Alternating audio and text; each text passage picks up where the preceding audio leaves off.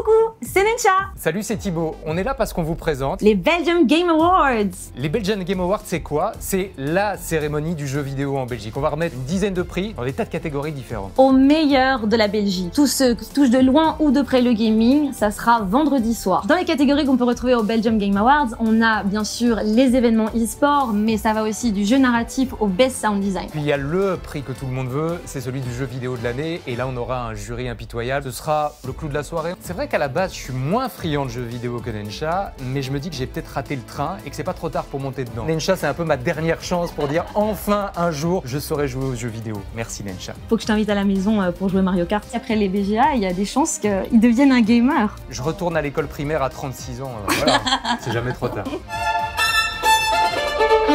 Il est bon, il est bon, il est bon